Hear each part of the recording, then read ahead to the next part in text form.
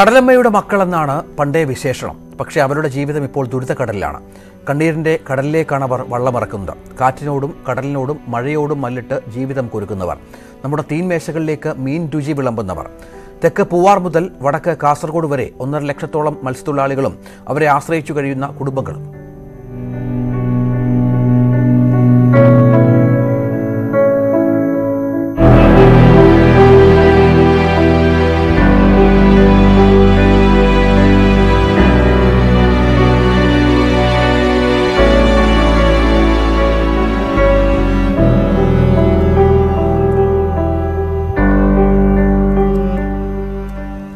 പ്രളയം കേരളത്തെ മുക്കിയപ്പോൾ രായ്ക്ക് രാമാനം വള്ളങ്ങളുമായി ചെങ്ങന്നൂരിലും പത്തനംതിട്ടയിലും രക്ഷയുടെ സേനയായവരാണ് ഇവർ.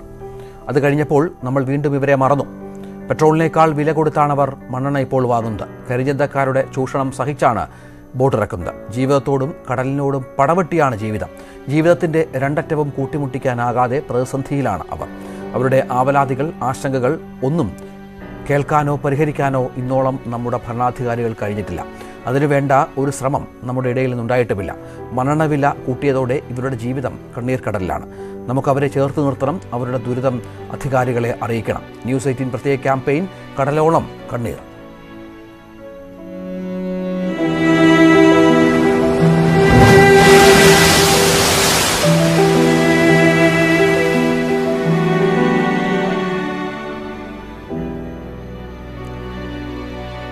ഇന്ധനവില ക്രമാതീതമായി ഉയർന്നതോടെ നഷ്ടങ്ങളിൽ നിന്ന് നഷ്ടങ്ങളിലേക്ക് പോവുകയാണ് മത്സ്യത്തൊഴിലാളികൾ. കടം കയറി ജപ്തി ഭീഷണി നേടുന്നവർ ബോട്ടുകൾ കിട്ടുന്ന വിലയ്ക്ക് വിറ്റൊഴിവാക്കുന്നു. കോഴിക്കോട് പുതിയാപ്പ ഹാർബറിലെ നാലിലൊന്ന് ബോട്ടുകൾ മാത്രമാണ് മത്സ്യബന്ധനത്തിന് പോകുന്നത്. ചില്ലറ കച്ചവടവും അനുബന്ധ തൊഴിൽ മേഖലയുമൊക്കെ സ്തംഭനാവസ്ഥയിലാണ്. അശ്വിൻ വല്ലത്തിന്റെ റിപ്പോർട്ട്.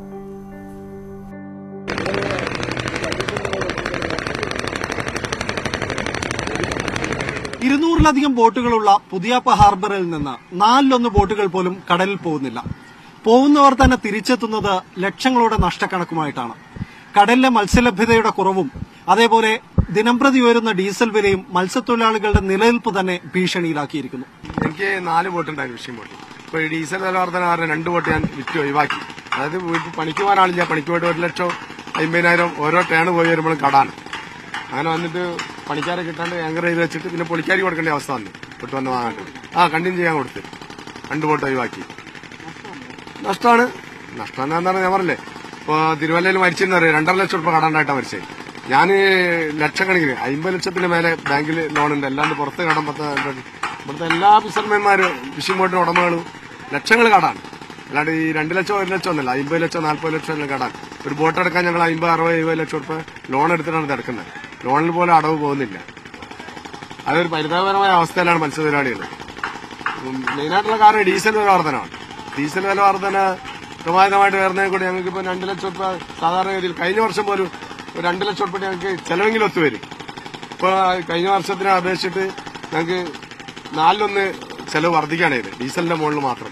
പിന്നെ ഈ വല നാൽപ്പതിനായിരം രൂപ കഴിഞ്ഞ വർഷം വാങ്ങിയ വല ഈ ഷീറ്റ് ബോട്ടിന് മെയിന്റെനൻസ് ഷീറ്റുമാണ് കഴിഞ്ഞ വർഷം അറുപത്തഞ്ച് ഉറുപ്പ എഴുപത് ഉറുപ്പ ഉണ്ടായ സാധനം ഇപ്പൊ നൂറ്റിയഞ്ച് ഉറുപ്പ വില. നമുക്ക് ഈ പണി എടുത്ത് ഒപ്പിക്കാൻ പറ്റണില്ല വളരെ വലുതാവെന്ന് പറഞ്ഞാൽ ആത്മഹത്യ ചെയ്യാനില്ല. നമുക്ക് എന്താ പറയുക അഭിമാനം ഇല്ലാണ്ടായിരിക്കും പ്രശ്നമായി ദുരഭിമാനികളാണ് മനുഷ്യര് നമുക്ക് ആത്മഹത്യ ചെയ്യാനുള്ള ഇതുമില്ല. പുതിയാപ്പൽ നാലിലൊന്നും മാത്രമല്ല പത്തിലൊരു സാധാരണ ബോട്ടോ പോകുന്നുള്ളൂ. ഒന്നാന്ന് പറയാ ഡീ- ഡീസൽ വിലക്കയറ്റം ഒരു ബോട്ടിനും താങ്ങാൻ കഴിയാത്തൊരു വിലക്കയറ്റമാണ് കുച്ചയേറ്റാൻ ചെയ്യുന്നത്. തൊണ്ണൂറ് തൊണ്ണൂറ്റൊന്ന് തൊണ്ണൂറ്റിരണ്ട് റുപ്യ ലിറ്ററിന് മുകളിലാകുമ്പോൾ തന്നെ മാക്സിമം ഞങ്ങൾക്ക് ഈ ഈ ഓണറുണ്ടായിരിക്കുന്ന ഒരു ഒരു റുപ്യ ബാക്കി കിട്ടാത്ത രീതിയിൽ ഞങ്ങൾ പണിയെടുത്തു. അതിന്റെ കൂടാണ് ഇപ്പോൾ പത്ത് പന്ത്രണ്ട് രൂപ ഇപ്പം കയറിയില്ലേ അപ്പോൾ അത് തീരെ ഞങ്ങൾക്ക് താങ്ങാൻ കഴിയില്ല. പിന്നെ മീൻ ഈ വിലക്കുറവ് മീൻ കുറവ്. മീനും കുറവാണ്. ആ മീനും കുറവാണ്. ഈ ഉള്ള മീനിക്ക് വിലക്കുറവുണ്ട്. എന്ന് പറഞ്ഞാൽ ഈ തൂക്ക തൂക്ക മീൻ കുറവാണ്. ചെമ്മീനില്ല കൂന്തൽ കുറവ്. അപ്പൊ അതൊന്നില്ലെങ്കിൽ ഈ വലിയ ബോട്ടിനൊന്നും പണിയെടുത്ത് ചെലവൊപ്പിച്ച് വരാൻ കഴിയില്ല. പിന്നാണെങ്കിൽ ഞങ്ങൾ ഒരു വർഷത്തിൽ ഇതിന്റെ ലൈസൻസ് ഫീസ് തന്നെ വലിയൊരു പൈസ അടക്കണം കേരളത്തിലല്ലാണ്ട് ഇത്രയും വലിയൊരു പൈസ തുക നമ്മുടെ ലൈസൻസ് ഫീസ് അടക്കണത് കേരളത്തിലല്ലാണ്ട് വേറെ ഇവിടെ വേറെ ഒരു സംസ്ഥാനത്തും ഇല്ല. അപ്പൊ ഇതെല്ലാം എങ്ങനെയാണ് ഒരു ഞാൻ ഒരു ബോട്ടിലെ സ്രാങ്കും അതിന്റെ ഒരു ചെറിയൊരു ഷെയറാരും കൂടി ഞാൻ അങ്ങനെ ഇട്ട പൈസ എന്ന് പറഞ്ഞാൽ നമുക്ക് ഇങ്ങോട്ട് കിട്ടാനുള്ള ഒരു കുഴപ്പമായി കാണില്ല വിഷു എല്ലാവരും പട്ടിണി കിടക്കണം വിഷുവിനൊന്ന് ഇപ്പൊ വിഷുവായിട്ട് കഴിക്കാൻ എല്ലാ എല്ലാ വർഷത്തായിട്ട് വിഷു കഴിക്കാൻ ഒരു വീട്ടിലും കഴിയില്ല. എല്ലാവരും അത്രയും ബുദ്ധിമുട്ടിലാണ്. എല്ലാ മത്സ്യത്തൊഴിലാളികൾക്കും ഇപ്പൊ ഇവിടെ ബോട്ടിന്റെ പണി ഇപ്പൊ നടന്നിട്ട് ഫെബ്രുവരി കഴിഞ്ഞിട്ട് പിന്നെ കാര്യമായിട്ട് ഒരു പണി നടന്നിട്ടുണ്ട് എല്ലാ ബോട്ടും ഡീസൽ കടത്തിലേക്കാണ് ഡീസൽ വില വർധനയോടനുബന്ധിച്ച് മത്സ്യബന്ധന മേഖല ഒന്നടങ്കം നിശ്ചലമായിരിക്കാം ഒന്നാമത് മറ്റുള്ള സംസ്ഥാനങ്ങളിൽ സ്റ്റേറ്റ് സ്റ്റേറ്റ് ഗവൺമെന്റ് സബ്സിഡി നൽകുന്നുണ്ട്. നമ്മുടെ സർക്കാർ സബ്സിഡി നൽകുന്നില്ല. കൂടാതെ അനാവശ്യമായ സെസ് അതായത് റോഡ് സെസ് എന്ന് പറഞ്ഞിട്ട് നമ്മുടെ മത്സ്യ മേഖലയിൽ ഈടാക്കുന്നത് പതിനെട്ട് ശതമാനമാണ്. അതിന്റെ ഒരു ഇല്ല എന്നാണ്. കാരണം റോഡുമായിട്ടുള്ള ബന്ധപ്പെട്ട ഒരു വാഹനം അല്ലല്ലോ നമ്മളത്. ഇതുമായിട്ട് ഇപ്പം പണിക്ക് പോകുന്ന എല്ലാ മത്സ്യത്തൊഴിലാളികളും അതിനനുസരിച്ചുള്ള മത്സ്യം ലഭിക്കാത്തതിനാലുള്ള ബുദ്ധിമുട്ട്. ഡീസൽ ഇപ്പോൾ നൂറ്റി പതിനഞ്ച് രൂപ നാൽപ്പത് പൈസ എന്നൊക്കെ അപ്പൊ ഇത് ഓരോ ദിവസവും ഇങ്ങനെ വർദ്ധിച്ചു വരുന്നതിനനുസരിച്ച് കേരള സർക്കാരിന്റെ ഭാഗത്ത് ഒരു സബ്സിഡി മത്സ്യബന്ധന മേഖലയ്ക്ക് നൽകാൻ നൽകുന്നുണ്ടെങ്കിൽ വളരെ ഉപകാരമായിരുന്നു.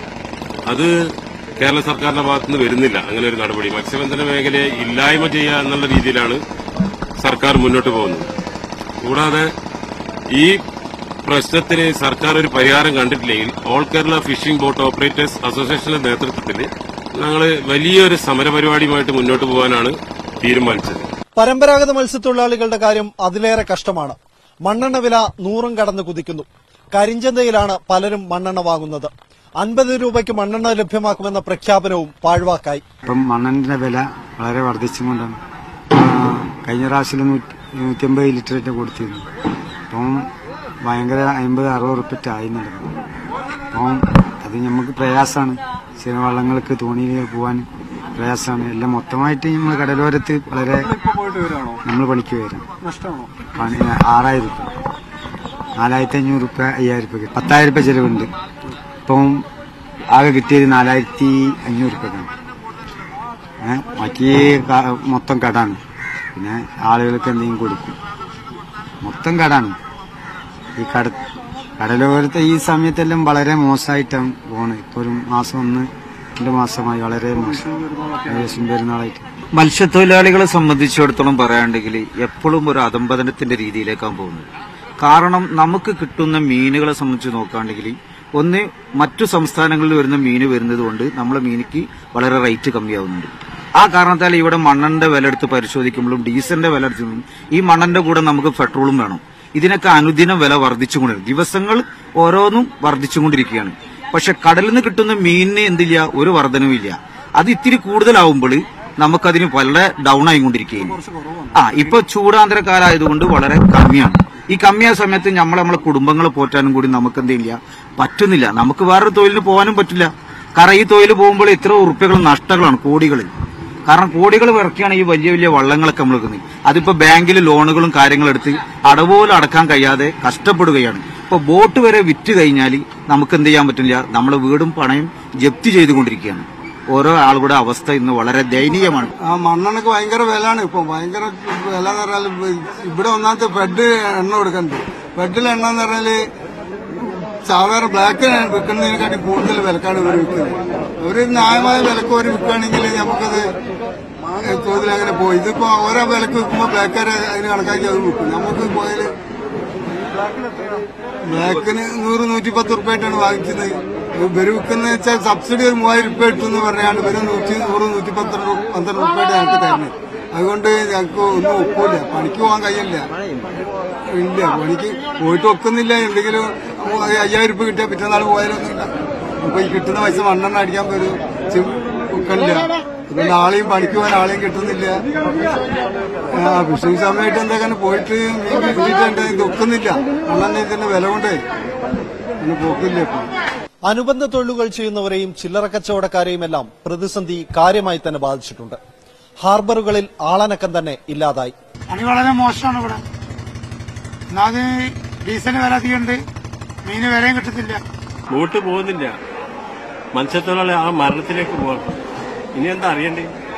പെട്രോളിന്റെ ഡീസലിന്റെ വില കടത്തി തന്നെയാണ് ആധാരം വരെ കടത്തിനാണ് അപ്പൊ സർക്കാർ എന്തെങ്കിലും ചെയ്തിട്ടില്ലെങ്കിൽ മത്സ്യത്തൊഴിലാളി കൂട്ടാത്മഹത്യ വരും അപ്പൊ എന്താ ചെയ്യണ്ട? ആരും ചെയ്യില്ല പിണറായിയും ചെയ്യില്ല മോഡിയും ചെയ്യില്ല അവർ അവരെ ടാക്സും വാങ്ങി അവർ പോകുന്നുണ്ട്. എന്താ ചെയ്യേണ്ടത് തൂങ്ങി മരിക്കേണ്ടി വരും കുറച്ച് കഴിഞ്ഞാൽ ഇവിടെ സജീവമായിരിക്കുന്ന സ്ഥലമാണ്. ഇപ്പൊ നമ്മൾ നശിച്ചുകൊണ്ടിരിക്കുകയാണ്. വിഷുവിനെല്ലാം കടം വാങ്ങി വാങ്ങി മുടിഞ്ഞ മനുഷ്യന്മാര്. ഇനി എവിടെ കക്കാൻ പോണ്ടി വരും? കൂട്ടുകാർ എല്ലാം പോകുന്നില്ല. പൈസ കിട്ടാത്തതുകൊണ്ട് മീനില്ലാത്ത സാഹചര്യം അക്കൂട്ടത്തിൽ തന്നെ ഇപ്പോഴുള്ള രണ്ടാഴ്ചയായിട്ടുള്ള വിലക്കയറ്റം. വിലക്കയറ്റം എന്ന് പറഞ്ഞാൽ നിലവിൽ ആ സമയത്ത് തൊണ്ണൂറ്റൊന്ന് റുപ്യ ഡീസലായത്. ഇപ്പോ നൂറ്റി രണ്ട് റുപ്യായി ഇവിടെ ഒരു ബോട്ട് ഒരു വലിയ ബോട്ട് പോയി വരണമെങ്കിൽ രണ്ടായിരം ലിറ്റർ ഡീസൽ വേണം. ആ രണ്ടായിരം നോക്കുമ്പോ മുപ്പതിനായിരം റുപ്യ ബാക്കി വരുന്ന പൈസ ആണ് മത്സ്യത്തൊഴിലാളിക്ക് ഈ ഈ തൊണ്ണൂറ്റി തൊണ്ണൂറ്റൊന്ന് നിൽക്കുമ്പോഴുള്ള കാര്യമാണ്. മുപ്പതിനായിരം റുപ്യ ബാക്കി വരുന്ന മത്സ്യ എമൗണ്ട് ആണ് നഷ്ടപ്പെടുക. അതോ ബാക്കി കിട്ടൂ. ആ കിട്ടുന്ന കൂടി ഇല്ലാണ്ടായപ്പോ മുഴുവനും. അതായത് തൊണ്ണൂറ്റി ഒൻപത് ശതമാനം ഇപ്പൊ കെട്ടിക്കിടക്കാം. പോകുന്നില്ല. പോകുന്ന പോകാൻ പറ്റില്ല. കാരണം വെച്ചാൽ ഇന്ന് വന്നേൽ ഒരു എൺപത് ശതമാനത്തിൽ കൂടുതൽ വോട്ടുകൾക്ക് അറുപതിനായിരം എഴുപതിനായിരം ഇപ്പൊ കടാണ് ഡീസലിന്റെ പൈസ കടാണ് ഇപ്പോ നിലവിലിപ്പോ അഞ്ചു ലക്ഷം വരെ കടായി കിടക്കുന്ന വോട്ടുകാരുണ്ട്. ഇനി പോണെങ്കിലും എന്ത് ചെയ്യുന്ന? അതായത് സ്വർണം പണയം വെക്കേണ്ടി വരും?